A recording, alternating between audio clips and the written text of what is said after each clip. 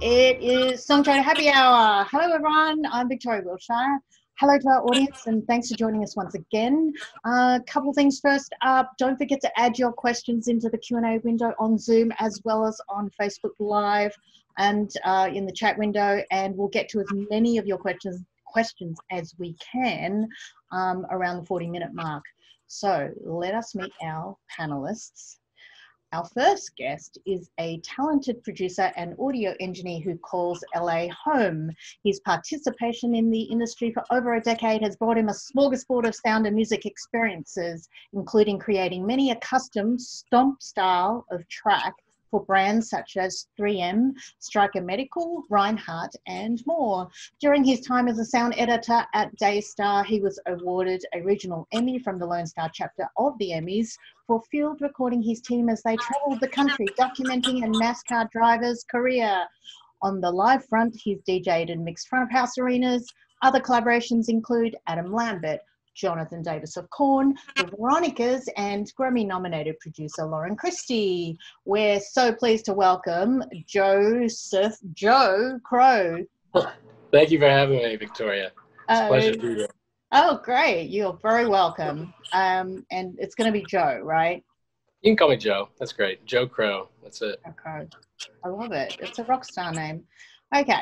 Uh, next up on our panel this guy is a multi instrumentalist who makes his way around the piano, bass, guitar, and voice with interchangeable ears. Yes, he's one of those annoying people who could coax music out of a rock. He is also an engineer, producer, and composer with over 25 years' experience in the music industry. Whether you've tuned into NBC and caught the Access Hollywood theme, which he composed and produced, or the music of British superstar Robbie Williams, there's a good chance you've heard his work.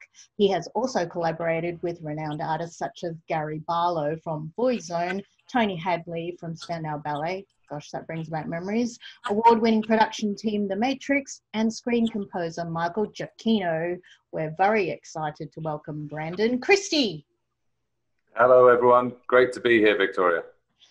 Fantastic. We're very happy to have you both. So, to kick things off, our topic is music placements that break the mold. In other words, in the world of sync licensing, we often think of placements um, as film, TV, games, ads, that kind of thing. But there are many more ways that music can be created as well as used, right? And that's what we're here to discuss. And hopefully, by going into these kind of strange and unusual avenues, we can open the minds of our artists and composers and music makers out there who are looking for different ways to um, find value for their music. So, how about we start with you, Crow? Um, how did you get started in the music industry in the first place? So, um, I'm from Oklahoma. So, when I lived in Oklahoma, towards the end of my college, uh, towards getting the end of my degree, um, which was in government, I kind of uh, veered away and started making music and, and got really obsessed with making beats. And so um, there is a Christian album that I worked on right before I left uh, Oklahoma, and I kind of decided that's what I wanted to do. And so um, that was 10 years ago. So now been out here and just uh, making music ever since. So that's kind of the thing that started it all. So you mean making music, not making Christian albums? no, that, was a that was the first, the first and the only. But um, yeah, it was a good experience, and it and it got my feet wet, and uh, so yeah, here I am. So uh, I guess that's it. I, I bet. Cool. And here you are now. And what about you, Brandon? How did it all start for you? Well, long time ago now, in the '90s, I was I, I started touring with various boy bands in the UK and Europe just as a keyboard player. And, uh, you know, I uh, quickly found out that I didn't have the right look for that. Uh, so I uh, eventually I found myself moving to America. And after that point, I, I took myself more onto the behind the scenes production side of things. And uh, I think that was a good call. Wow. I was going to say, show us your moves. But I'm a keyboard player. There are no, there are no moves. well, not that type anyway. Um, okay, so how about our very first unusual music job? Joe, what about you? Um, so most of the, I guess with uh, on topic of breaking the mold, the gig that I've gotten most uh, through doing these weird stomp style tracks was kind of um, accidental, I guess you could say. I was in the studio with uh, just an artist, and um, some of her friends came in, and one of them worked for a, a creative ad agency. And he just was like, hey, you want to try making one of these beats? And we're going to use them for uh, our client, which basically they would hold these large um, conferences and events for, for corporate seminars and stuff. And um, so he took a chance and said, make this this beat out of our client's sounds and see if we can make like a little video to it. So that's kind of the first, uh, and that, that, was a couple years ago actually. Um, so just kind of a random. It was really dumb luck, uh, just you know, meeting people. You know, a lot of it is just meeting people. A lot of people, I think. Yeah, we all need a bit more of dumb luck, though, don't we? Um, yeah. So for those out there who don't really or have never come across stomp style tracks, can you explain that for us a little bit? Yeah. So basically, this agency um, pitches out their services to different brands and companies. Um, like one of them was Sonic Drive-ins, and basically, uh, the way it works for me with this uh, circumstance is they will, the company will go and film a the, the place of business, whether it be you know a, a drive-in or a Walmart or wherever it is, and film all these different sounds. And I'll just take those sounds and basically make a two-minute track out of it, just random Foley sounds. So you know, it may be the sounds of like frying an egg or, you know, fries being fried in a fryer and basically turning it into like a two minute song and they make a video to it. So that's, that's the long and short of it. So. Wow. Uh, you just bring back memories to me. I'm just watching Chef. I don't know if you've ever seen that movie. Oh yeah. I love yeah, Chef. Yeah. I know. I love that. Makes me hungry every time. Um, go check yeah. it out guys if you don't know what we're talking about. What about you, Brandon? What was your first unusual job? Uh, well, I back when I was living in the UK and I was starting to get into music production, I there was this uh, basically a cabaret artist called the Singing Chef, and um, he had an act where he'd play guitar and he'd be under a sort of behind a pair of portable hot plates, and he'd sing songs and he'd cook spaghetti all at the same time, and uh, when it came time for him to do his single. Um, I managed to get that gig, and um, he turned up at the studio with the hot plates because uh, turns turns out he's he's not comfortable performing unless he can do the whole jumping to the guitar for the guitar riff and then jumping back. He's got everything very much in his muscle memory, and so he uh, I wouldn't let him fire them up though, just because of uh, various health and safety infractions. But yeah, that was a pretty weird early one. People want what they want when they're performing. They need what they need. oh, that's such a shame. I was hoping he was going to be cooking a meal for you at the same time. Right. Yeah.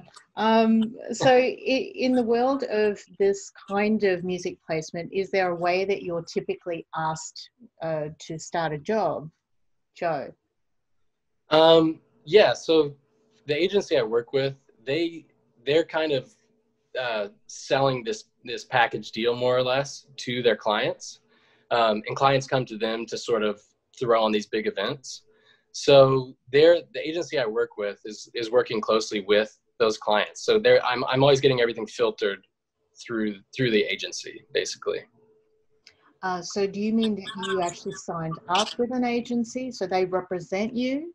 No, so it's it's a creative agency and basically they're um, shopping their services out to company like corporations to to host their their events, their yearly, um, you know what what have you, their their seminars, and when they lock down the budget with the client, they basically sell them a package in which you know one of the elements is a, a custom video using implementing their sounds, um, and I guess you know these companies get a big kick out of it. So.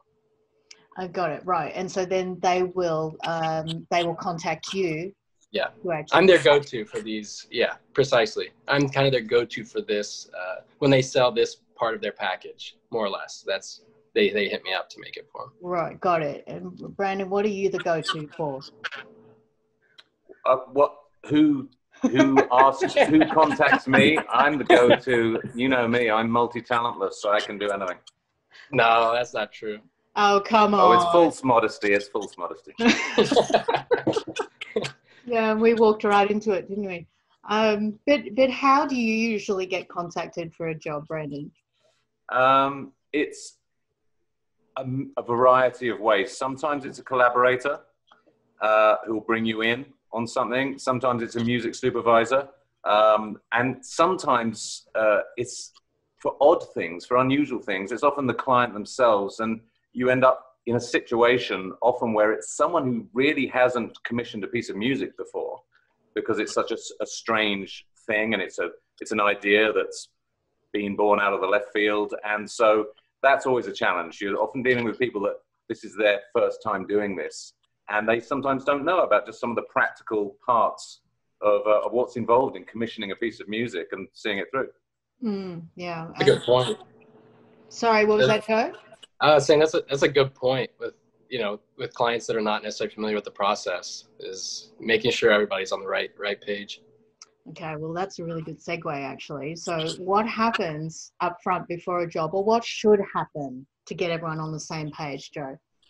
Um, first of all, I mean, in terms of the project, you need to be very familiar with what the client is expecting um, above anything else. You know, the person who's paying, you need to make sure you know what they are, are hoping to get out of out of the project.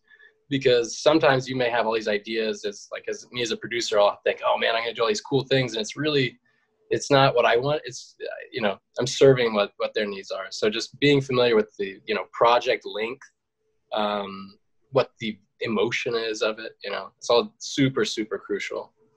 Mm, how do you dig into the emotion of the project or the, the brand?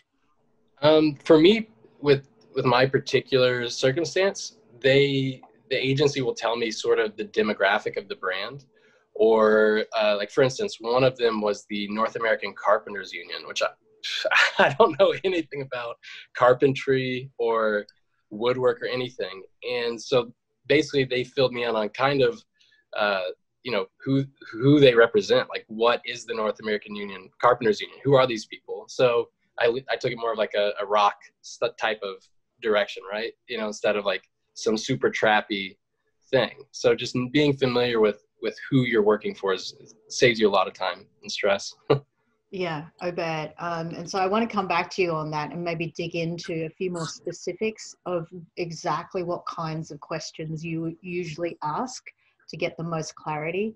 Um, but Brandon, um, you were smiling on the, the emotion of the Carpenters Union. Um, do you have some insight here for us? So, about the, what we should. Yeah, like knowing um, what happens up front before you oh, yeah. get into the job, uh, just to make sure that everyone's on the same page. Because I, I think that what we're hearing here is that if you're not on the same page, you can go down a certain path, and then it might be uh, may not be the wrong path, but it may not be what the client's expecting. Yeah, yeah, I would uh, very much second what Joe said. It's about knowing the scope of the job, the expectations versus the budget. I mean, they need to know, especially if it's an unusual job and they haven't done it for the first time, you don't get a full symphony orchestra for $2,000 work for hire. Um, basic things, big band jazz is hard to fake. You really need to get a big band to do that. It's hard to do with just plugins. And, um, and sometimes you need to know if it's even possible because these might be wacky ideas you're talking about. And, uh, mm-hmm. you know, if they want a choir of trained squirrels singing underwater, that's going to be a no can do. You know what I mean? So I, I, like to be pretty clear um, up front. And then, and also, obviously, there's the financial side of things. I do like to be clear about that up front so that, uh, and I, I kind of have a, a system uh, for that, which is I like to give people three options. My sister gave me this system. Uh, she's also in the music industry. I like to have like an option to give to the client of the full works, mixed, mastered, all live instruments. And then the kind of the lowest option would be like all MIDI demo, maybe off using your original piano that you did in MIDI, program drums, and then something in between that's maybe it's some live players. I've mixed and mastered it. You know, maybe the lowest option, they're responsible for going and mixing and mastering it. So it's always good to give people options, I find. Yeah, and that's a really good point, actually, Brandon, because I, I guess as business people, what you're trying to do, as well as being the artist and, and creating your your product, um, you also want to make sure that you're servicing a client and keeping the job. So, you know, as much as you want to do stuff that fulfills you, it, it is also about earning you the dollars, right? So, you know, w- w- well, how do you actually um, apart from having the tiers, Brandon, for you, Joe, is it different? Like, how do you not scare people away with your budget? I first of all, what Brandon said is really brilliant. If you can give them options, you you first of all they feel like you're willing to work with them. They don't feel like oh you're just trying to make it like you're really trying to give them a, a product they're happy with. For me, um, I have a manager that she she's incredible. My manager Maria T Lyons, she's awesome, but she she does a lot of my negotiating. You, yeah, thank you, Maria. but she's she is just awesome, and so it's good to have her kind of play bad cop when you need that, um, and just I, I always get a, a better rate. I get paid more in a timely manner.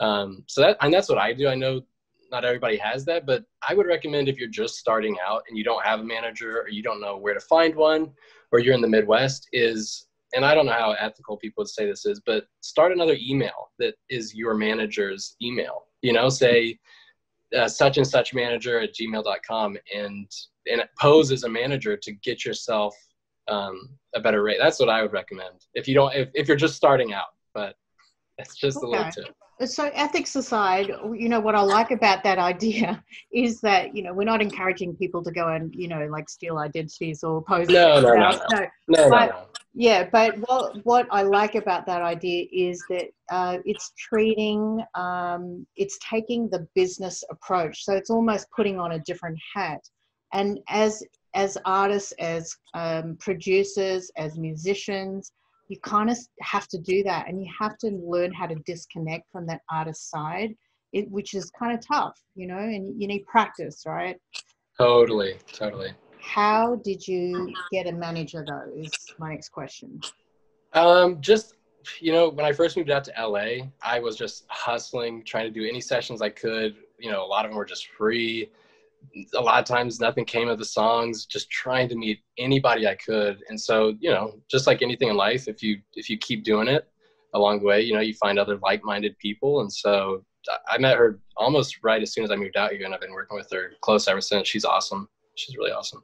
Oh great. Well she's got a great plug from you right? Everyone's going to go and look her up and hit her up now. Um, brandon are you self-managed? Yes. Yeah i've i've always been lucky enough to uh, to fall on my feet in that regard. But who knows? This manager sounds secret? quite interesting. What's your secret, though? Being able to stand on your own two feet? Do you think? Just an amazing dancer. No, I. Uh, I, have been I've ha- I've been fortunate, and you know, a lot of it is just who you meet and who you work with, and collaboration. A lot of stuff comes in through collaboration. Obviously, there's a new world. There's all sorts of ways of getting gigs these days, and it's only going to get more. I think. Mm, mm. Yeah. Okay. Um, I want to um, switch back to Joe because um, I read something that you wrote where you said you can never ask too many questions mm. of the creative director, and this is when you're working with the, the agency contact, yeah. especially when budget is locked. What does that mean? Yeah. So it's basically it's a lot different whenever you're because in the world of music, right? Let's take a step back. When you're when I go to a session, when any producer or songwriter goes to a session, it's all in the hopes of like, let's hope we get a great record so that you'll, you know, that the, the song will come out, right? Whereas if you've already gotten commissioned for a piece of work, you're no longer in the trial phase of that gig. You they they trust you to do it. So there's no sense of like, oh, I, you know, I'm gonna go and kill this. Like, I want to really know what you want out of this work because I want you to be as happy as possible. You know, there's so you don't have you you you can be really confident in, in saying, hey, like, give me a give me references, vibes that you want, and and not being worried that because you've already got the gig. You know. Uh, okay, yeah, that makes sense. Um, and so uh, maybe this is a good time to go to you, Brandon, and talk about some of these other unusual jobs that you've had. How do people give you references for, say, you know, the singing chef who has to sing over his hot plate? yeah, well, I I swear by references. You know, I if I have a tempo and a reference, then that gives me eighty percent of what I need. Obviously, with more unique like music for installations or kind of experiences or unusual things that's uh, there's more information required and there'll often you know there'll be emails and a whole conversation that, go, that goes on there. Yeah let's expand on that because i think that's quite fascinating. There wouldn't be too many producers or audio people out there who would have designed sound for a major ride at a theme park. Right yeah what, that, how did that happen? So that's one that uh, composer that people might have heard of, Michael Giacchino, someone I've worked with. He's worked a lot with Disney, and he got commissioned to do the new music for Space Mountain. I think in the early mid two thousands. That ride was, was awesome. I loved it. Yeah, and it was it was a a very. I mean, I can talk about it now, or or we can get. I don't know what how you plan on going into this, but it was a very unique situation. It was a unique situation. They really knew what they needed. They had put music on roller coasters before. That's what these people down at, at Disney do. And so we had, we went in with very specific requirements. And one of those requirements is that, of course, your first thought about doing a piece of music is it goes beginning to end.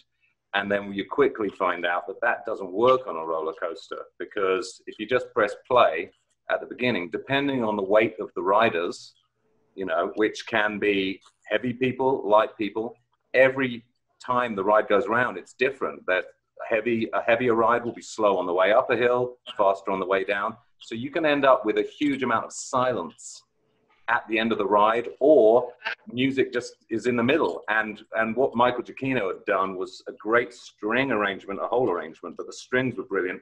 They would follow the roller coaster. Adi would go, go ah, so it would follow. So it had to be really accurate. So what we found out was that they do a, a they do a system where they um, split it up into several pieces of music that are re-triggered during the ride so that it never goes that far out of sync. Oh. Which presents some musical challenges as well. Wow. Yeah, and well, so what happens then is uh, how is the music triggered? And you know, sorry if I'm not asking this very well, but because there's multiple cuts going at the same time, right? How do you right. ensure so they're getting the same experience at different they, times? I mean, you can't. There is a grey area. Some people will be sitting at the front of the roller coaster car. Some people will be sitting at the back. So there's probably you have to pick the middle place as the as the optimal part. But it's actually the car, the roller coaster car itself, that triggers it physically. The new piece of music. So the first piece of music would end with a sort of a, a long, sustained brass riff, for example, just like and then the new part would be triggered, the new piece of music, and that would begin with a drums, a little drum riff. So it'd be so you so it would appear seamless. You just get the the brass sustaining for however long it needed for the car to reach the trigger point. And then it would reach the new trigger point. You'd get the drums go and then you're in. And it, to the rider, on the roller coaster, it seems like one seamless piece of music, but you're having the advantage of basically staying in sync with all these little movements that the strings are doing and that you're physically doing.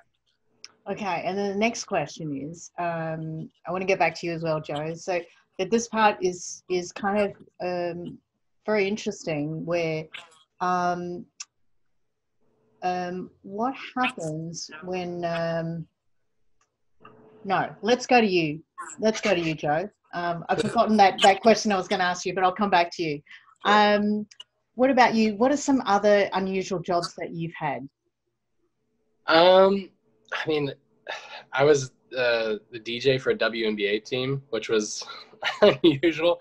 I mean, that's not necessarily music placement, I would say, but um, it's it's an unusual audio job.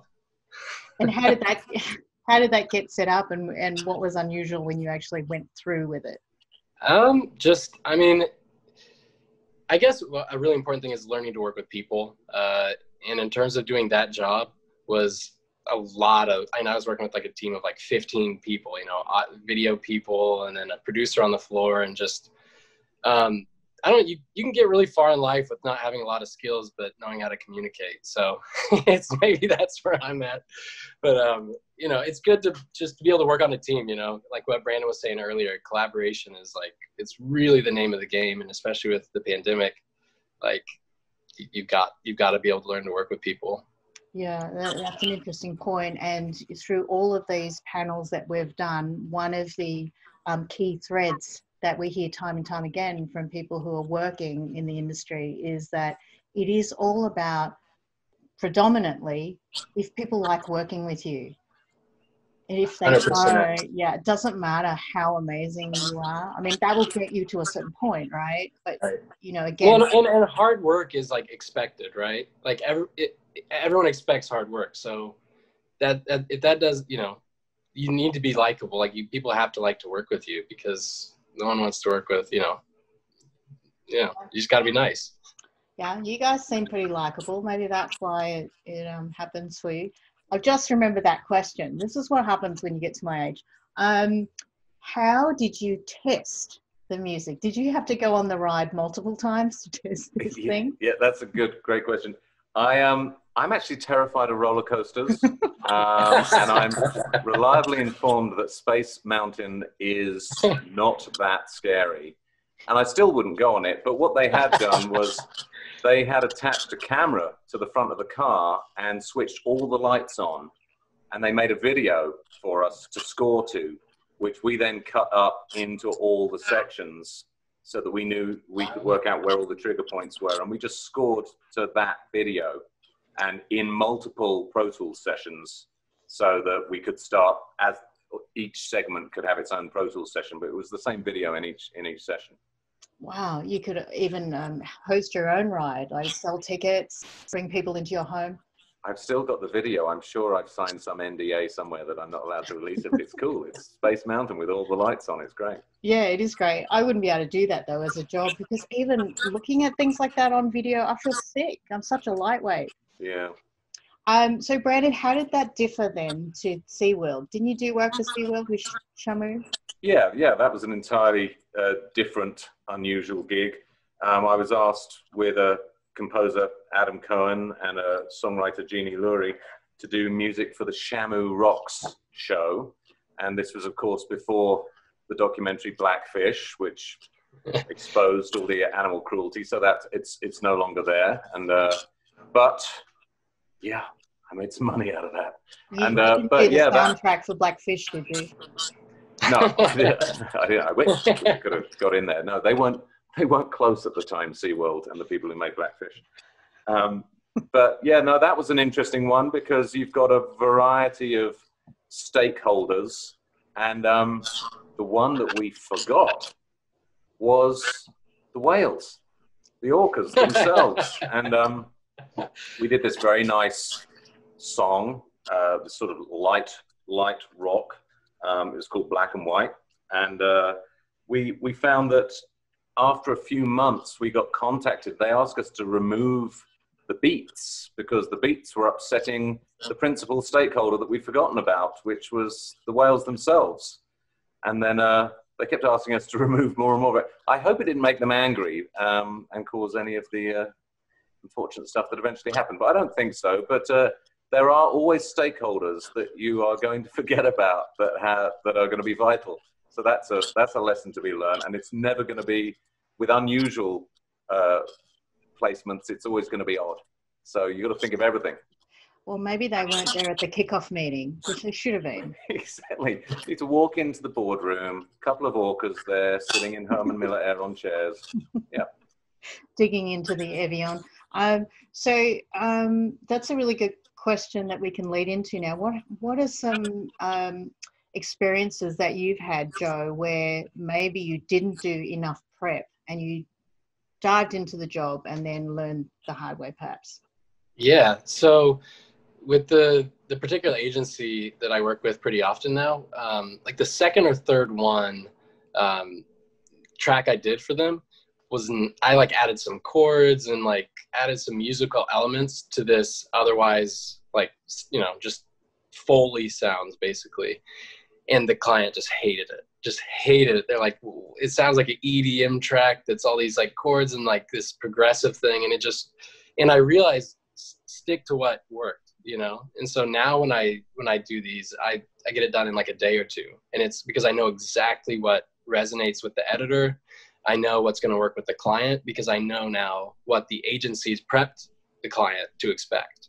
So now I, I have a very formulaic approach to when I get commissioned for these. So it, it is different though. Like what Brandon's saying is like when you get these oddball clients or gigs, it's, you know, you have all these strange circumstances that you kind of have to have to wade through. So getting familiarized with them really helps for sure. Yeah, yeah, I bet. Um, what are some other tough lessons, Brandon? Have you got some for us?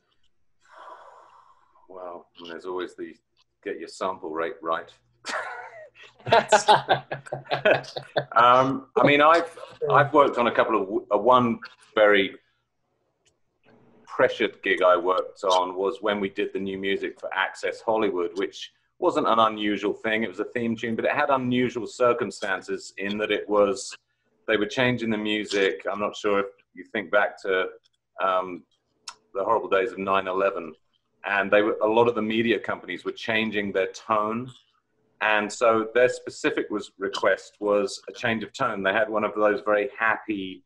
Uh, uh, news entertainment type, you know, like Entertainment Tonight, da, da, da, da, da, whatever, happy uh, thing with a lot of brass. They didn't want to do that. You know, everyone was thinking, what's the new media environment going to be coming back from this? Everyone was worried about what's David Letterman's first monologue going to be? Will there even be light entertainment ever again? So they came to me looking for a track that had a, a darker tone, more like Fatboy Slim's Right Here, Right Now.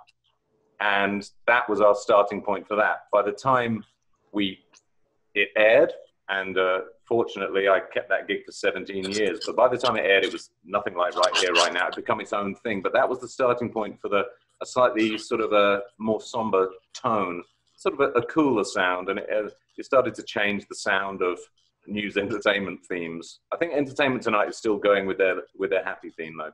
Are they still around? I have no idea. Those shows are a threatened species, I'm afraid, because of Twitter. We need, a, we need a few more happy themes, though, don't we, at the moment? Everything's fairly somber. Yeah. Well, that was the other thing I noticed very quickly. You know, theme tunes before that used to be 30 seconds long, like the Golden Girls or Cheers, and they play the whole song. Very quickly in the 2000s, it started to become that cold open, straight into the show, and then they just give five seconds of theme, um, which I'm not sure if that was just fashion they wanted to get into the content of the show or it just saved them a lot of money because I know eventually they started paying by the second, whereas the PROs used to pay by, uh, used to have a theme designation that was a single payment. So then everything tightened up in the early 2000s, especially after the economic crash and the, yeah. Wow. So but that was not a weird piece of music, but it was a weird circumstance, uh, Access Hollywood, and it required some sensitivity in what you're submitting. You know, you're trying to sort of hit very specifically a tone that they're looking for. Yeah, right. And how did they explain that tone to you? Well, again, I am good with a tempo and a reference track. And if they give me Fatboy Slims right here, right now, they're going to get something that is absolutely legal, but is very much inspired by. which is the, but but we worked on it for many weeks after that to get the tone right. By the end, it it sounded like an entirely different beast. Yeah, right, which is good. That's a good journey to take. And you know, to your point about themes getting shorter and shorter, um, I wonder if it's perhaps um, also that there's so much more content out there. The amount that comes out is increasing all the time. We have so much more access. Um, and so we need to grab people's attention much more quickly these days. Right? Yeah. Yeah. I mean, theme tunes are just designed to bring you in from the other room. You're in the kitchen, you hear the theme tune. Oh, Access Hollywood is on. That's the job it does. Yeah. So, Joe, have you have you seen a change in the way that um, uh, the the brief has changed, perhaps over the last ten years? Um, so this particular gig I've been doing for maybe five years or so, four or five years, and um, typically with the agency, they we we've worked together on maybe twenty of these, so the we're kind of at the point where we know I know what they they're looking for, and they kind of know what I'm gonna deliver. So it's it's actually gotten easier for me just to they just hit me up say we need one for like they I did one for 3M uh, in January, and they just said we need one for them. Here's the sounds and go to work. So at first, it did take a lot of trial and error with them just to make sure it was right and and right how they wanted it. Um, but over time, it's it's gotten a little bit easier just out of expectations, knowing what they want. Mm, um, okay, and maybe looking back then, um, how did you differentiate between um, potentially what a creative director was saying to you and what your perception of the brand and what they wanted was? That's a really good question. Um, at first, I don't think I really knew. At first, I kind of just, you know, I, I thought that the, the person who hired me was the one that, you know, I just needed to make them happy.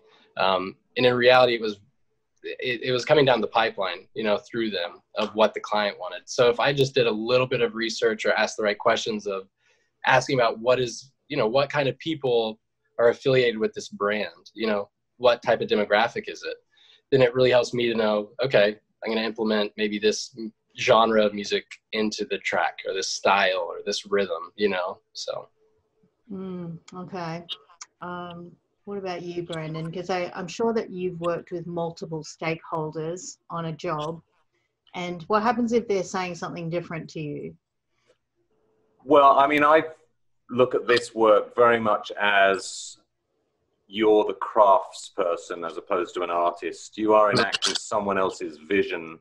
And yeah. if it's an unusual piece of music, they've often thought a lot about what they want to do. So it's, you know, if I have an idea for sort of a ripping rockabilly guitar solo in the middle of it, and they're not digging that, then that idea is dead. You know, I'm being I'm being hired for my skills. Uh, you don't want to. Uh, you want to keep your creativity there, but you need to balance your heart and your head because it is someone else's vision you're bringing to life. Mm, like Stephen King said, "Kill your darlings." Right? Yeah. Yeah. Um, but what about the case for instance, where you're dealing with um, an artist and then you're dealing with the label, and they're both telling you something different. Have you ever come across something like that? Well, I mean, yes, on the on the pop side of things, that's that's it, isn't it? And um, you want to. I will try to err on the side of authenticity with an artist because I just think it's so much more powerful. But you know, labels paying the bills. So again, it's a balancing job. You've got to be half psychiatrist for this for this gig. uh, yeah. Do you agree with that, Joe? Oh, could not agree anymore. It's Brandon nailed it. You have to be a, a bit of a psychiatrist. It's not unusual to hear. Well, and like um, Brandon was saying, the artist thing is a completely different beast from the placement thing it's because it's so much spec until the last moment, especially with labels and stuff. You know, you're hoping for the cut, you're hoping for this, and it's like, but with whereas placements, if you're commissioned, it's just you approach it very differently, a different mindset of like what Brandon is saying is you. It's not about your creative desires and what you want to make. It's really how to use your skills like a craftsman, like Brandon's saying, to really craft what makes them happy. So. Mm, okay, well, and that's, I guess, that's the one of the underpinning foundational points that we all have to remember when we're getting into the business side of things. Even though often, you know, being creative, we just want to run with it, right? Right. Yeah. Right. Um, okay, how about tips for people who want to break into do what you guys do? Brandon, do you have some?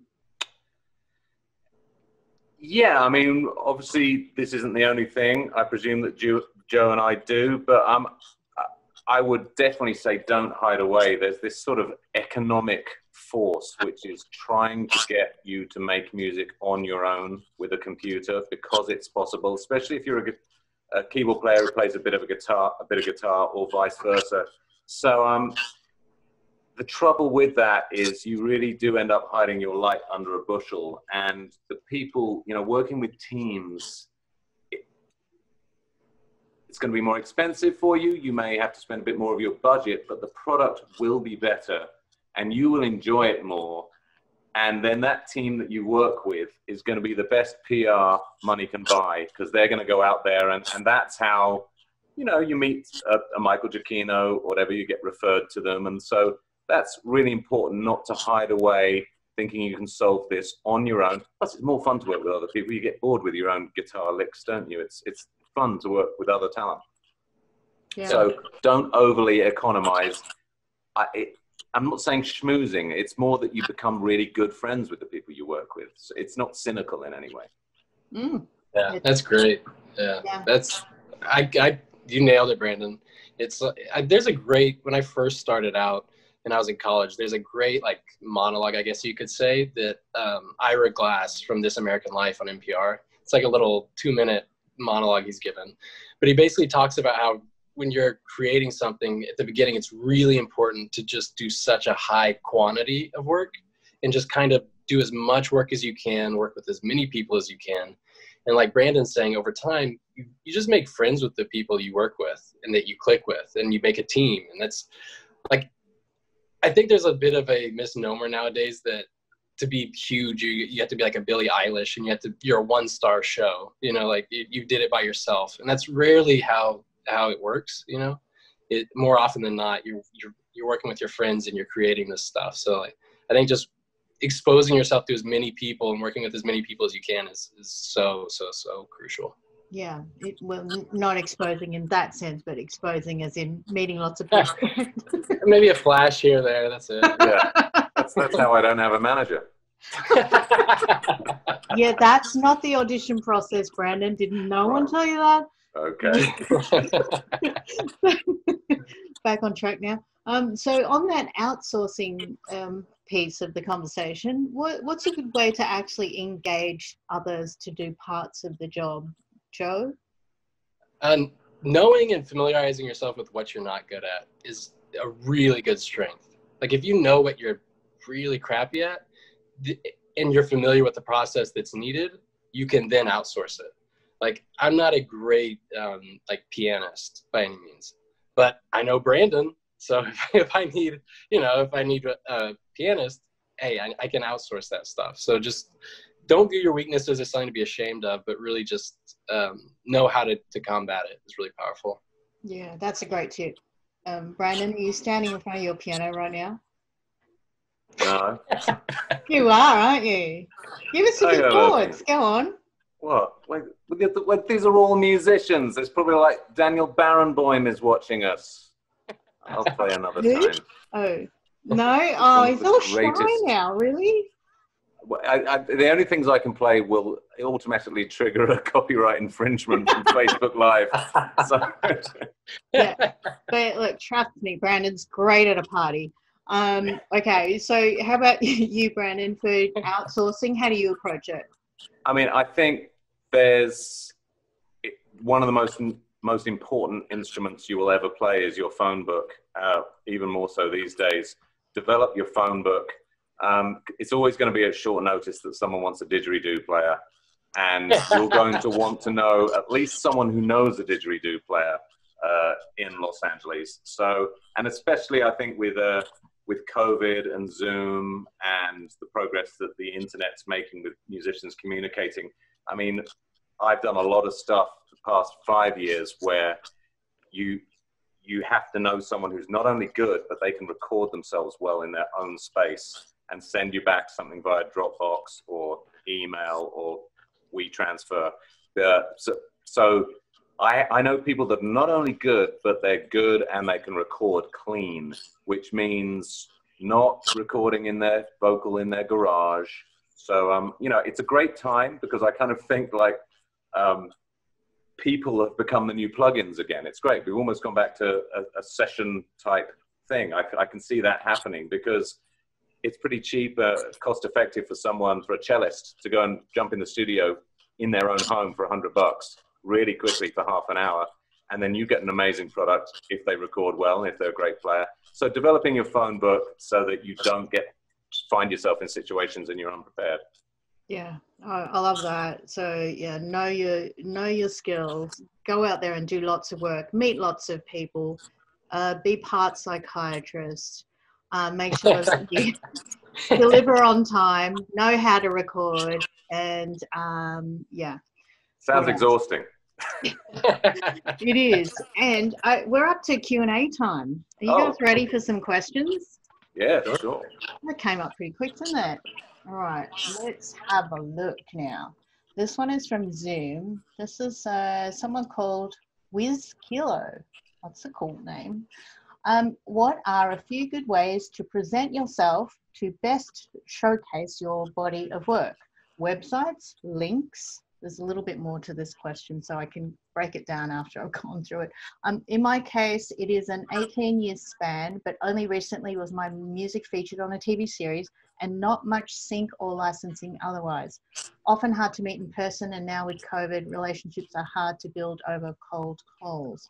Okay, so back to the main question What are a few good, ways to present yourself to best showcase your body of work?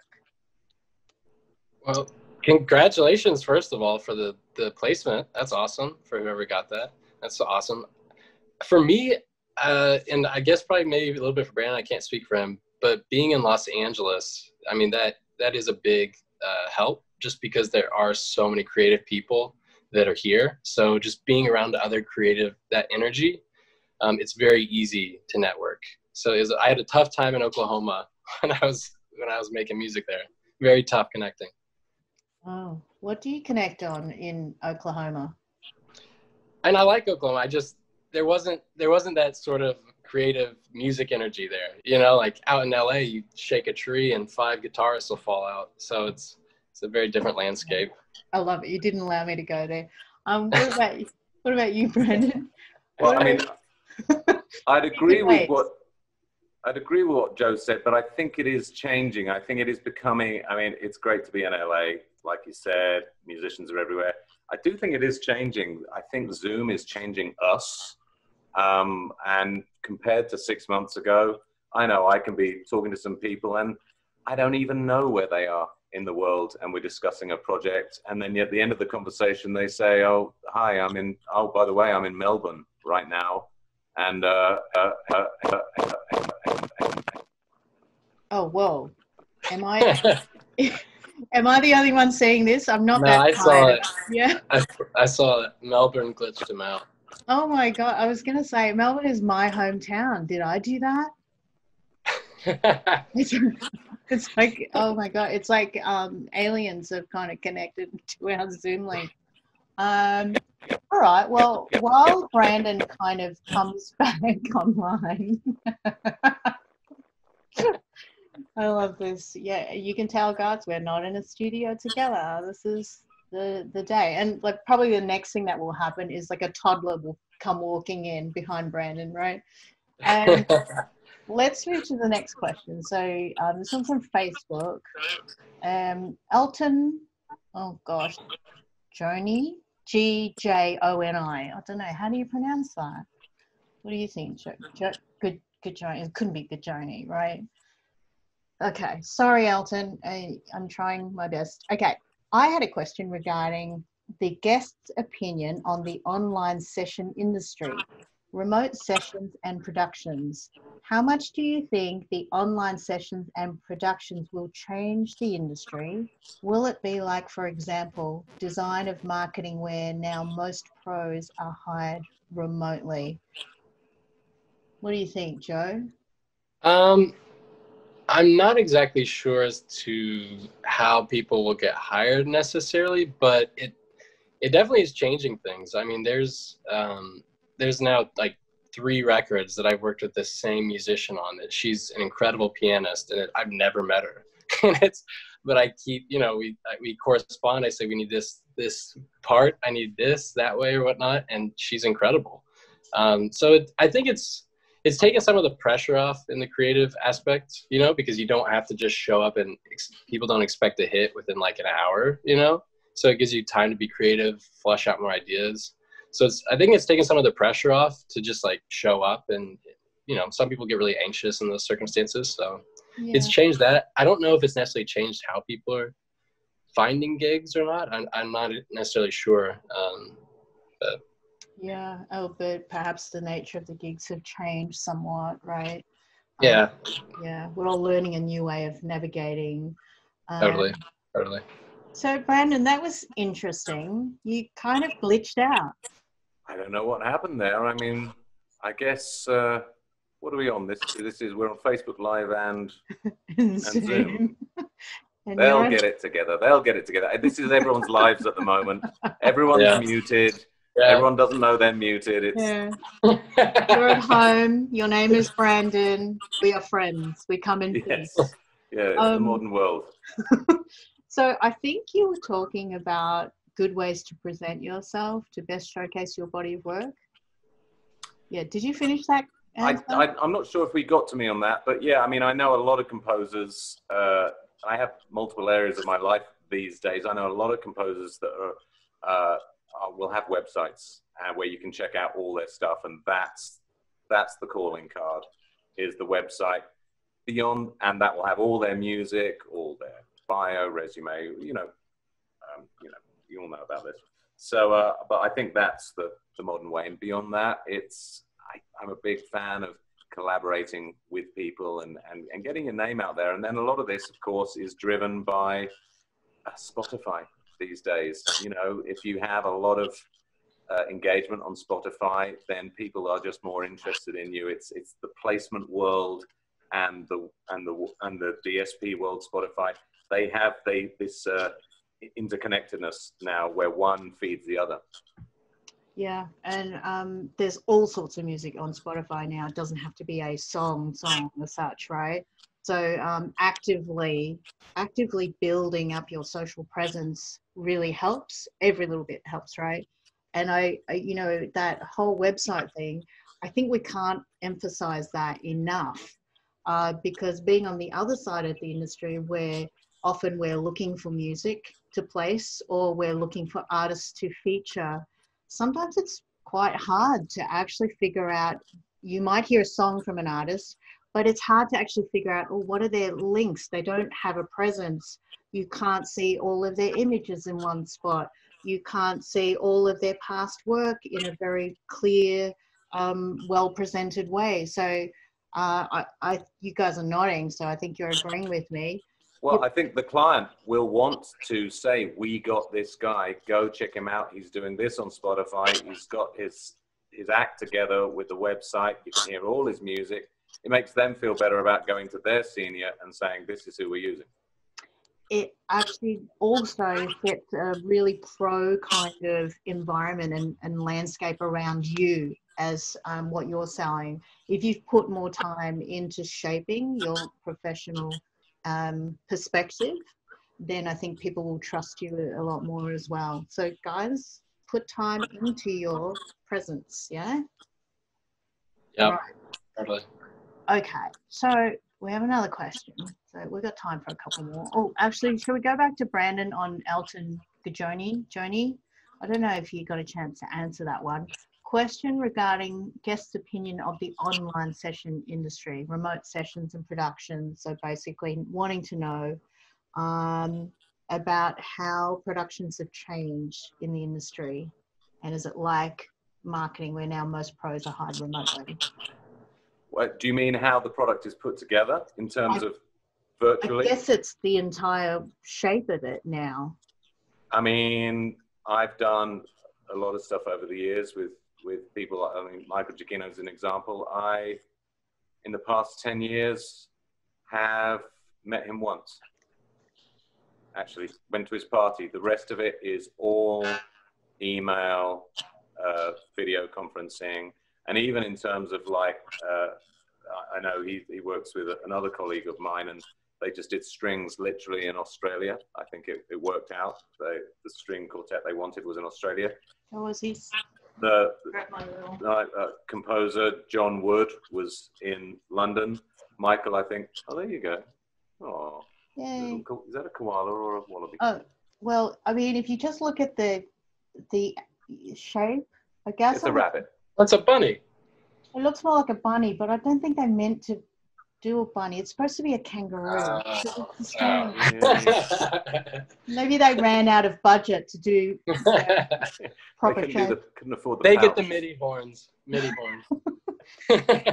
Yeah, sorry, Brandon, you were saying. Yeah, so you know, John, uh, who, who was also working with Michael, was in London. Michael Giacchino was in LA, and I think they did a the sessions. The session was done by Zoom with them giving feedback in real time via video after after each take, and uh, I think that is very much the future. A lot of people are working to solve real time online collaboration. Um, real time jamming, that's a huge thing. Obviously, it's restricted by latency and the speed of light, but someone's going to come along and solve that because, you know, if you've all tried singing Happy Birthday together in a Zoom meeting, you'll realize what a giant mess it is. and that's latency for you, and it's a it's a physical limitation that's going to be very hard to get around. They get around it in video games, interestingly, by predicting any of 20 outcomes of any situation. They're pre-buffered. So that, but you can't do that with live creativity as a singer or a musician. So yeah. it's a it's a fascinating world we're we're going into, and and it also opens up more chances for these unusual placements because you can record anywhere these days. You can have a little Zoom recorder like Joe does, be recording a, a chip fryer. There's no real reason. The, the quality of microphones is so great. Why Yep. stick to the studio all the time? So I think people's the client's creativity will stretch a lot in the future as well. Okay, well, Brandon, maybe you can work on pre-buffering chips for people. I'd Yeah, be a millionaire overnight. Uh, okay, let's see. We've got time for another one. This one's from Facebook. Tumor, Chu the producer, Nwabosi. Hmm. Wow. Um, I constantly hear that you shouldn't do multiple genres and focus on one and not be a jack of all trades. I love lots of genres and produce and write in the ones that bring me joy. What's your opinion of that? That's a tough question. That's tough because you, I mean, yeah, stick to stick to what what you like, you know, because if you don't like it, it's not going to be good probably. So, you know, stick to what you like. but and there's some producers out there who can do everything, some who can't. Uh, it's that's a tough question. I don't know, Brandon. Maybe you have some wisdom. Yeah, I think it's a mixture of nurturing your soul. Uh, you can't lose your enthusiasm. Um, that's why I'm a big fan of working with people. But at the same time, there's the practical realities of paying your mortgage, paying your rent, and you do have a skill set that can, that is quite portable. It can be repurposed. But generally, yeah, be authentic, be who you are, because if you're a real hip hop genius, you might not have it for rock and vice versa. And so it, it's a complex it's a complex equation. I mean, we're not all one thing, are we? And we don't all listen to one style of music when we're when we go home at night, or when we're at home at night every night, as we are these days Mhm. and all day. Yeah. So uh, yeah, I think it's a, it requires self management to keep yourself nurtured, because the worst case scenario is you falling out of love with music. Yeah. Yeah, and, and just doing it for the money, right? It's kind of Yeah. soul destroying. Yeah, you won't be good at it. You won't stick with it. Yeah. But, you know, just um, throwing this in there as well, just, you know, the, the whole idea of maybe balancing it a little bit as well, there's probably some merit in that because I know coming through as a musician and a producer as well, that, um, and a performer, that often when I was thrown in to do something that I didn't feel quite comfortable with or I didn't quite connect with, it actually broadened my skills quite a quite a bit, and then I could go back to what I loved with a fresher perspective, um, probably a better perspective. You know, I know it made me a better singer to sing things that I just didn't understand. It gave you a whole new appreciation for music from the '70s, for instance. You know, so there's that. Maybe That's good. Yeah, no, that's good. You you Yeah. definitely grow by getting out of your comfort zone.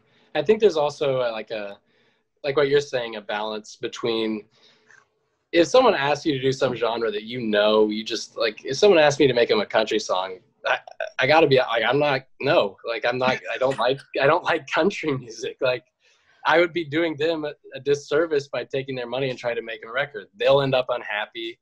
I'll do a crappy job. So, you know, but you're right though. Expanding your boundaries is good. Nothing wrong with that. Okay. Worst case scenario, you you'll fail, and you'll Yeah. you won't get hired again. I mean, I used to play keyboards for, for two gigs with well-known reggae group Aswad, and I don't need to tell you that I'm not the right look for a reggae group, and I didn't have the right feel. You know, I play at least 26 milliseconds ahead of the beat at all times.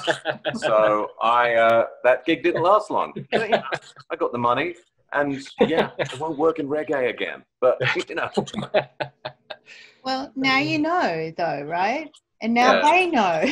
yes, and it made me more interesting. I actually learned how to do the reggae bubble thing on a Hammond organ. So, and then actually, I've used that on other tracks. That technique of the two-handed reggae keyboard riff. there you go. So, you so go. everything feeds into everything.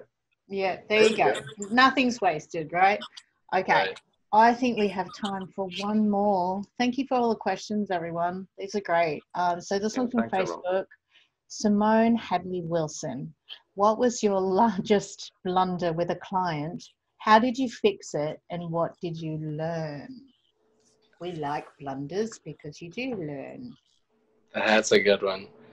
Um, one time, I'll go first, Brandon, so you can finish it off.